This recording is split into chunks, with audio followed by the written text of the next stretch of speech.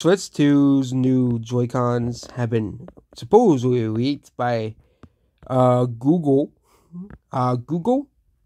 But right now, Google's in on the Switch 2 rumors here. This is a Google store. Oh, this is a Google app. But apparently, the Switch 2's uh, patents have been leaked here. Definitely take these with a grain of salt because this is come from some guy in Google. You know, he could have just photoshopped this or created this or drawn it himself. Okay? As well, this is in from this wasn't from an official source either, as well. Yeah, but yeah, definitely take this week of a grain of salt with the Switch 2 Joy-Cons here. And yeah. Do you think the Switch 2 is coming out? No, not coming out. Excuse me. Revealed next month, or do you think this is all a bunch of baloney, like the Switch Pro was all those years ago? And that's about this video here. Goodbye.